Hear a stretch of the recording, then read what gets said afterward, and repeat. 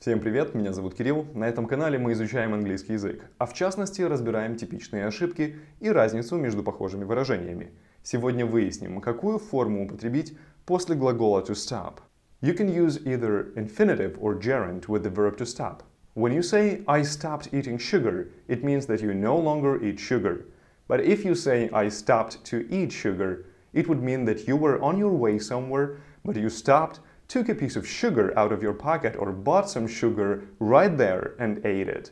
So the meaning is completely different. После глагола to stop можно употреблять и герундий, и инфинитив, но при этом значение меняется. I stopped eating sugar значит я перестал употреблять сахар или сладкое.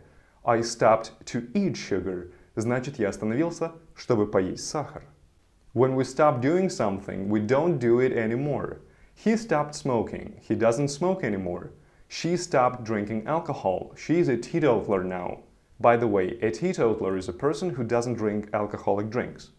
My nephew stopped believing in Santa. Now he knows that Santa doesn't exist.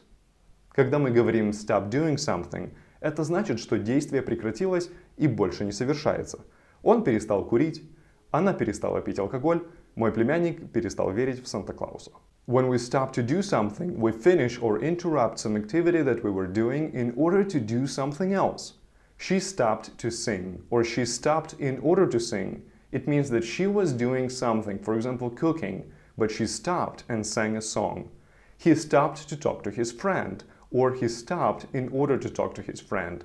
He was on his way to work, but he ran into his friend and stopped to talk to him.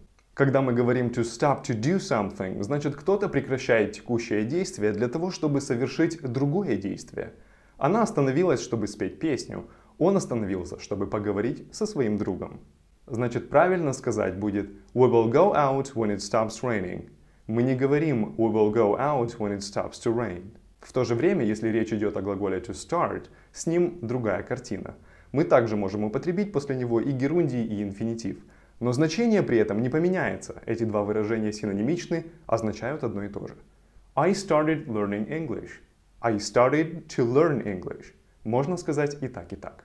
А теперь задание для всех. Переведите следующие два предложения на русский язык. I stopped to buy flowers. I stopped buying flowers. Смотрите другие уроки о типичных ошибках в английском языке по ссылкам в описании под видео. Если находите этот урок полезным и интересным, пожалуйста, поставьте лайк и напишите свой комментарий. Не забывайте, что в изучении английского языка практика это самое главное. Так что пробуйте придумывать свои примеры и пишите их в комментариях. Я по возможности их проверю и исправлю. С вами был Кирилл, увидимся совсем скоро.